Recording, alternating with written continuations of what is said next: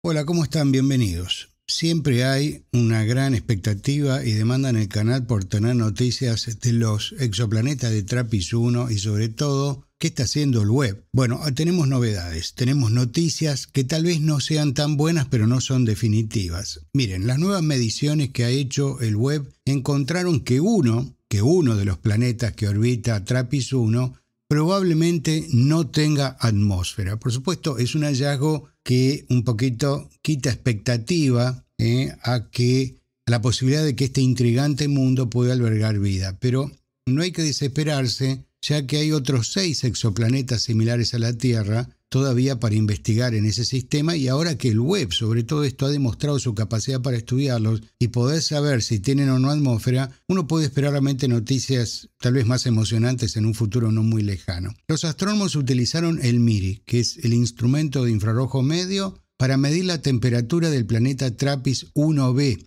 De los siete planetas que componen el sistema, este es el que orbita más cerca de la estrella madre y es aproximadamente 1,4 veces más grande que la Tierra. Según la Agencia Espacial Europea, esta es la primera detección del web de cualquier forma de luz emitida por un exoplaneta rocoso y reveló que la temperatura diurna del planeta era de unos abrasadores 230 grados Celsius. Obviamente que con esa temperatura los astrónomos creen que es demasiado alta para que el planeta tenga una atmósfera. Hay un astrofísico de la División de Astrobiología y Ciencia Espacial del Centro de Investigación Ames de la NASA, se llama Thomas Green. Él dirigió las observaciones y le dijo a un conocido blog que esperaba un resultado diferente. Algunos grupos teóricos predijeron que el planeta tendría una atmósfera densa, mientras que otros pensaron que podría no ser así. La verdad, dijo él, estaba más decepcionado que sorprendido de ver que no tenía atmósfera.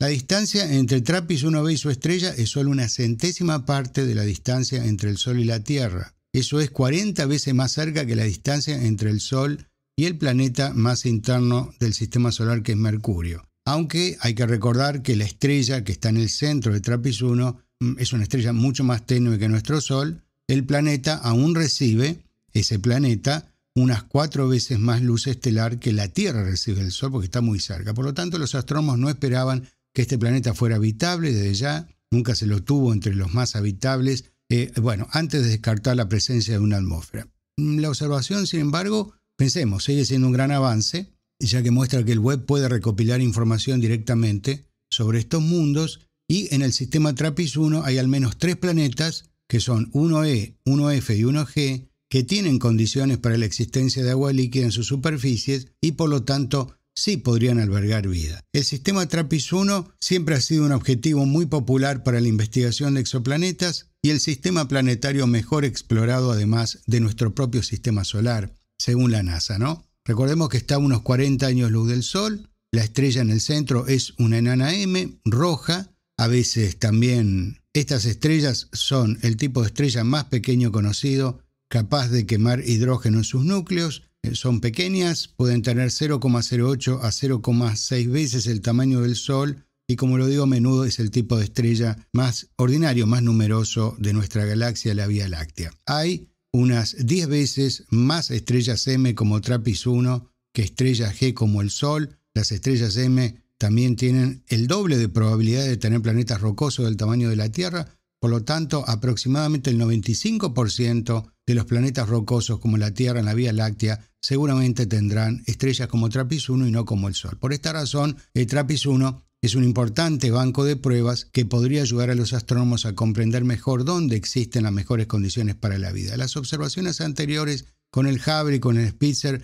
no encontraron rastros de atmósferas en ninguno de los planetas de TRAPPIST 1, pero todavía existe la posibilidad de que una atmósfera muy delgada tal vez rodee a TRAPPIST 1b una que podría ser completamente diferente de las atmósferas que envuelven a los planetas del sistema solar. Eh, tenemos algunas observaciones de seguimiento, dicen los astrónomos, que están programadas para junio en otra longitud de onda y se ha propuesto observar una parte más grande de la órbita del planeta para investigar y tal vez descartar otros tipos de atmósferas. Así que paciencia, hay que esperar a que se investiguen los otros candidatos me pregunto por qué empezaron con este y no empezaron con los otros que tienen más chances. alguna razón habrá. El estudio fue publicado en la revista Nature el lunes 27 de marzo. Dejo el link en la descripción del video. Gracias y hasta mañana.